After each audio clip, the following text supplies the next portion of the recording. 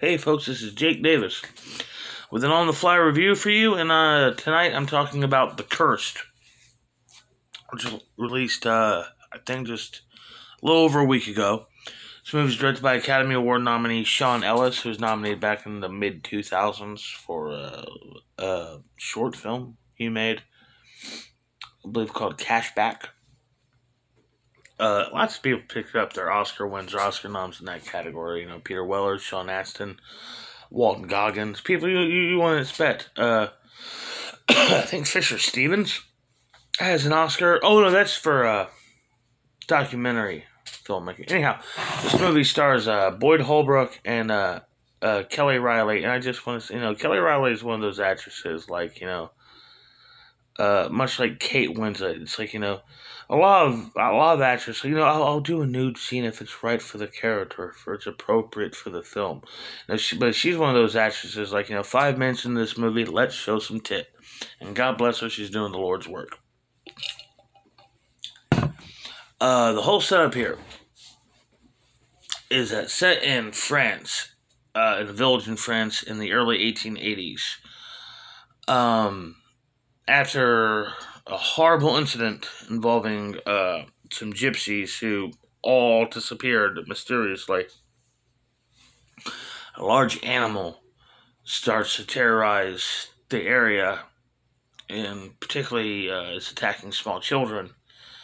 And there's been these dreams, nightmares about a scarecrow.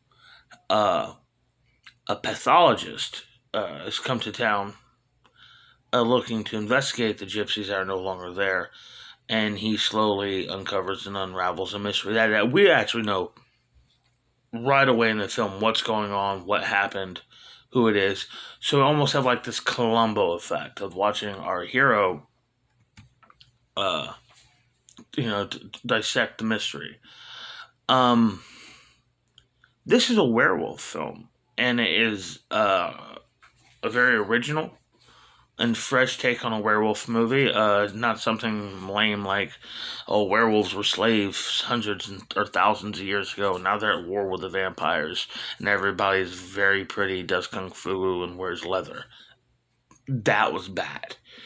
Uh, this was really interesting. The werewolf doesn't look like a wolf. Almost, almost looks like a pig.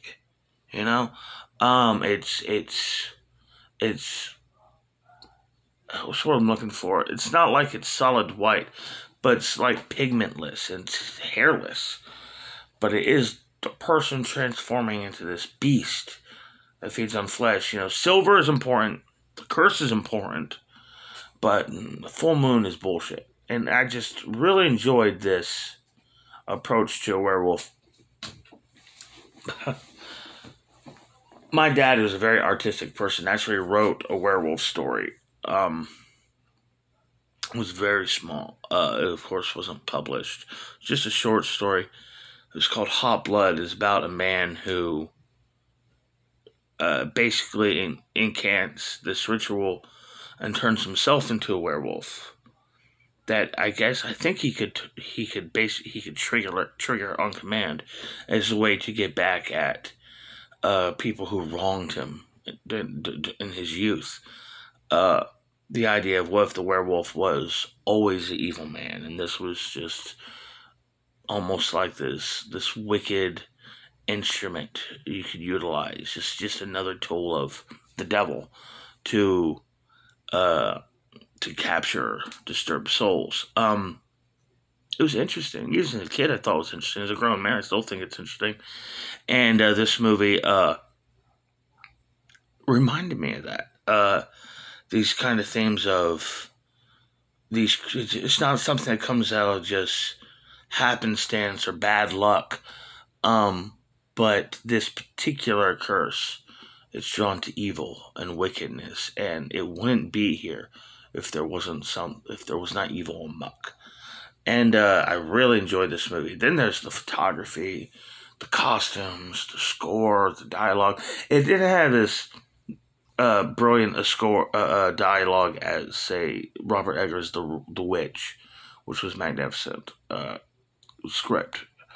Um, but I really like this. If I, I'm gonna give this movie five stars because I just was, I loved it. I loved every minute of it. I was completely compelled and enthralled in the story through the whole film. Uh, and I love my Wolfman.